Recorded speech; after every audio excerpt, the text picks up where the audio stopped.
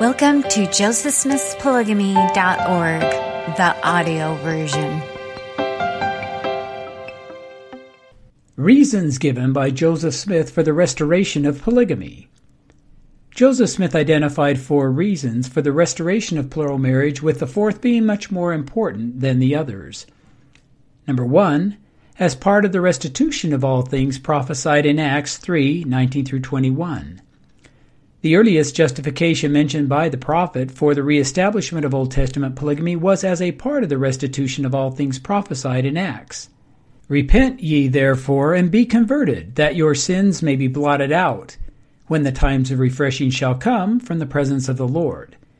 And he shall send Jesus Christ, which before was preached unto you, whom the heaven must receive until the times of restitution of all things which God hath spoken by the mouth of all his holy prophets since the world began. This need for restoration is mentioned in section 132. I am the Lord thy God. I have conferred upon you the keys and powers of the priesthood, wherein I restore all things. Verse 40, see also verse 45. Joseph saw himself as a restorationist and the Lord declared him so in regards to priesthood authority and salvific ordinances.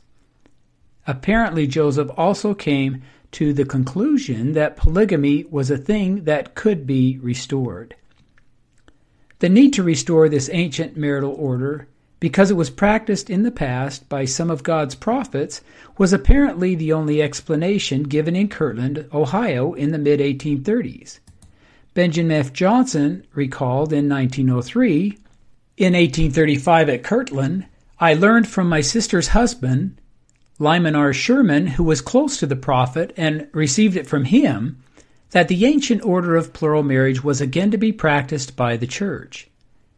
A few years later, in 1841, Joseph Smith attempted to broach the topic publicly. Helen Mar Kimball remembered, he, Joseph, astonished his hearers by preaching on the restoration of all things, and said that as it was anciently with Abraham, Isaac, and Jacob, so it would be again. Similarly, Joseph A. Kelting recalled his personal conversation with Joseph Smith. Calling at the house of the prophet one day early in the spring of 1844 on some business or other not now remembered, the prophet invited me into a room upstairs in his house called the mansion. After we entered the room, he locked the door and then asked me if I had heard the rumors connecting him with polygamy. I told him I had. He then began a defense of the doctrine by referring to the Old Testament. I told him I did not want to hear that as I could read it for myself. He claimed to be a prophet. I believed him to be a prophet and I wanted to know what he had to say about it.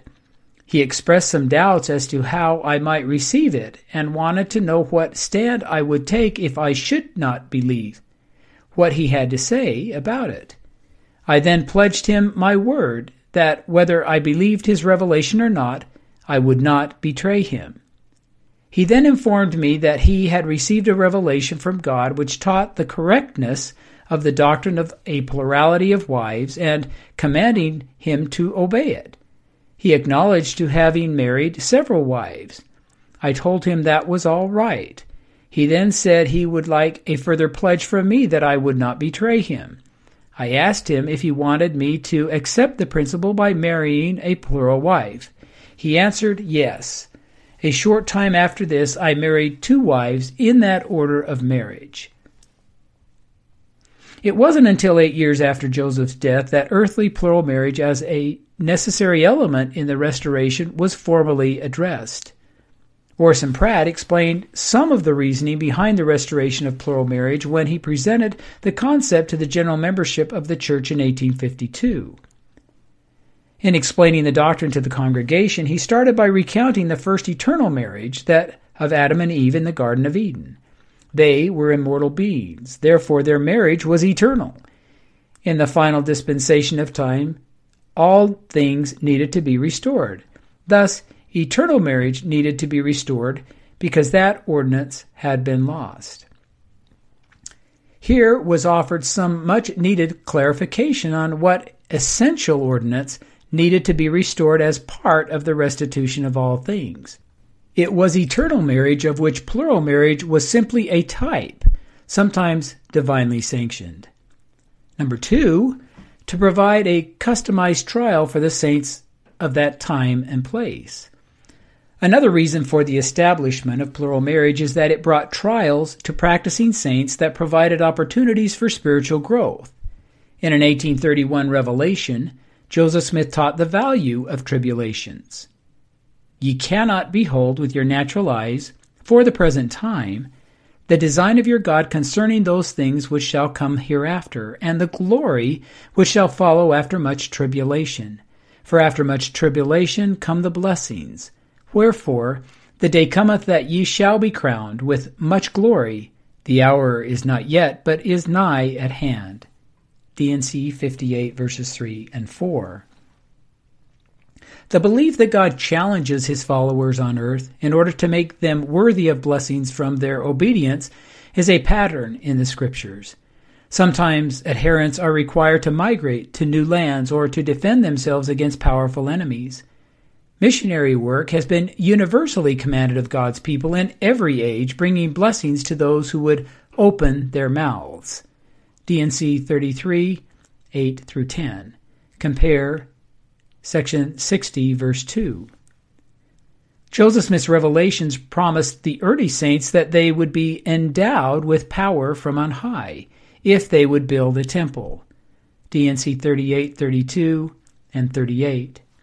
And their obedience was richly rewarded.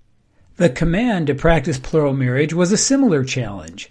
One of Joseph's plural wives, Helen Mar Kimball, remembered the prophet said that the practice of this principle would be the hardest trial the saints would ever have to test their faith.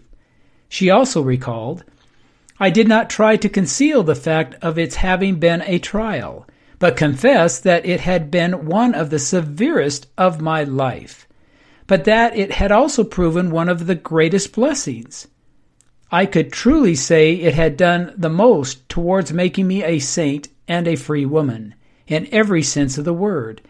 And I knew many others who could say the same, and to whom it had proven one of their greatest boons, a blessing in disguise. Apostle John Taylor summarized where did this commandment come from in relation to polygamy? And then he answered, It also came from God. It was a revelation given unto Joseph Smith from God, and was made binding upon his servants. When this system was first introduced among this people, it was one of the greatest crosses that ever was taken up by any set of men since the world stood. Brigham Young recalled in 1855 I foresaw when Joseph first made known this doctrine that it would be a trial and a source of great care and anxiety to the brethren. And what of that? We are to gird up our loins and fulfill this just as we would any other duty. For plural wife Martha Cragun Cox, plural marriage led to intense prayers that brought inspiration. I knew the principle of plural marriage to be correct, to be the highest, holiest order of marriage. I knew, too, that I might fail to live the holy life required and lose the blessings offered. If I had not learned before to go to the Lord with my burden, I surely learned to go to Him now. I found relief only in prayer when the Holy Spirit gave me inspiration. That the practice of plural marriage would be a trial bringing blessings is inferred in several verses of the revelation on celestial and plural marriage found in section 132 of the Doctrine and Covenants. In three places, it refers to Abraham's obedience and the blessings he received verses 36, 50 through 51. Regarding Joseph Smith, who entered his first plural union in April 1841, the July 1843 revelation states, Behold, I have seen your sacrifices and will forgive all your sins. I have seen your sacrifices in obedience to that which I have told you. Go, therefore, and I make a way for your escape, as I accepted the offering of Abraham of his son Isaac. Verse 50, see also 60. The trial was withdrawn through the 1890 Manifesto. At that time, Wilford Woodruff, the holder of the sealing keys to authorize all valid eternal marriages, declared the commandment to practice plural marriage to be no longer binding upon the saints. They were to live monogamy like Book of Mormon saints. Fourteen years later, in 1904, Church President Joseph F. Smith stopped allowing new plural marriages.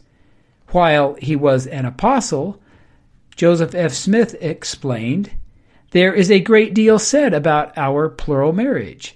It is a principle that pertains to eternal life, in other words, to endless lives or eternal increase.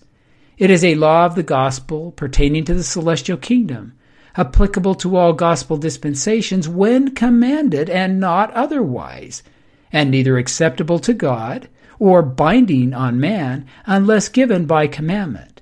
Not only so given in this dispensation, but particularly adapted to the conditions and necessities thereof, and to the circumstances, responsibilities, and personal as well as vicarious duties of the people of God in this age of the world.